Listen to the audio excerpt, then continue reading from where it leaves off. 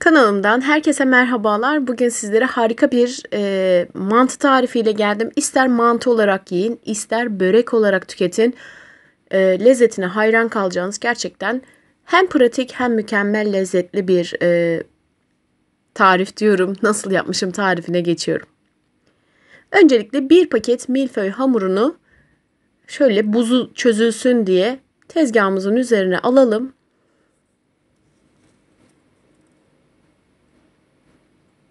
Bir paket hamurda 10 yaprak var. 10 yaprağın 8'ini kullanacağız.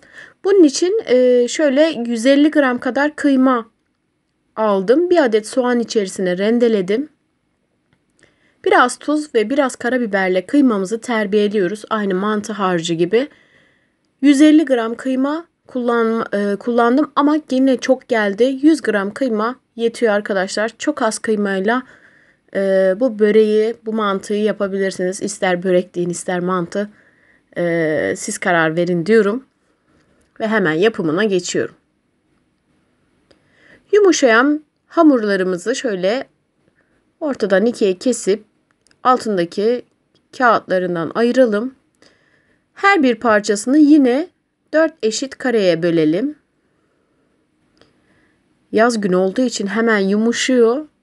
Ee, milföy hamuru yumuşayınca biraz kesmek zorlaşıyor.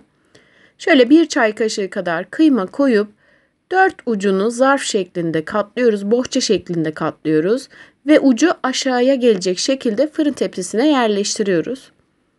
Fırın tepsisine yağlı kağıt kullanabilirsiniz veya tepsinizin tabanını yağlayabilirsiniz. Yoksa yapışır kalkmaz arkadaşlar. Bütün milföy hamurunu bu şekilde yapıyoruz. 100 gram kıyma ve 8, 8 yaprak e, milföy hamuruyla bir tepsi elde ediyoruz. Çok da bereketli. Akşama ne pişirsem diye düşünüyorsanız bile akşam öğünü olarak e, gerçekten hızlıca yapıp tüketebilirsiniz. Mantı gibi saatlerce uğraştırmıyor. Pişme süresi hariç yapımı 15 dakika bile sürmüyor. Bakın Tüm hepsini yaptım. 50 gram kadar kıymam hala arttı. O yüzden malzeme listesini detaylıca videonun altına yazacağım. 100 gram kıymayla yapabileceksiniz. Şimdi yaptığım mantılarımın üzerine bir adet yumurta sarısını güzelce sürüyorum. 180 derecelik fırınıma gönderiyorum. 20-25 ee, dakika üzeri kızarana kadar pişiriyorum. Evet bakın böreklerim pişti. Sıcak sıcak tüketebilirsiniz. Çok lezzetli oluyor.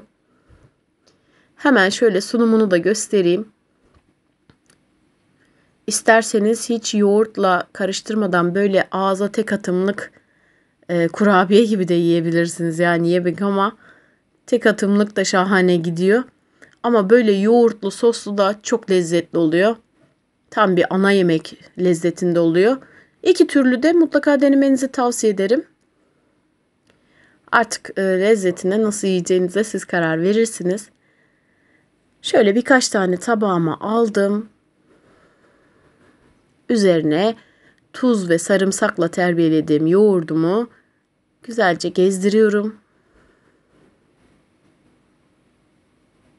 Tıpkı mantık mantı gibi.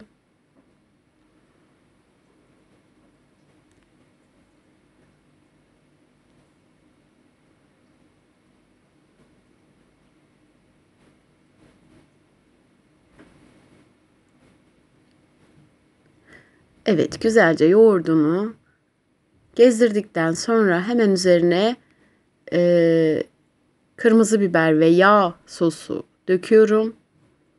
Biraz sıvı yağ ısıttım veya tereyağı kullanabilirsiniz. Üzerine az bir kırmızı biber attım. Ve çok güzel bir mantı sosu oldu. Hemen size şöyle bir tanesini kesip içini göstermek istiyorum.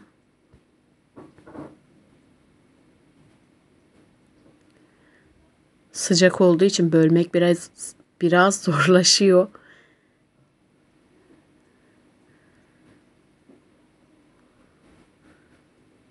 Kıymasını bunun çok görünmedi ama diğerinde görünecek.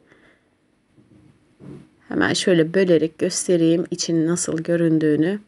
Çok güzel pişiyor. Pişmeme e, gibi bir durum söz konusu değil. Bakın arkadaşlar baklava gibi kat kat tel tel. Boşnak böreği gibi. E, tam yani tam boşnak böreği lezzetinde çok güzel oluyor.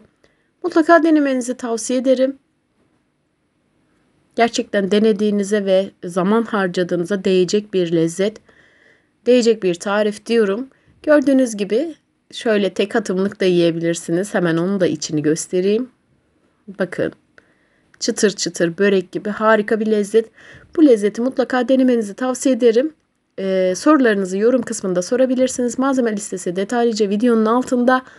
Ee, beni izlediğiniz için teşekkür ederim.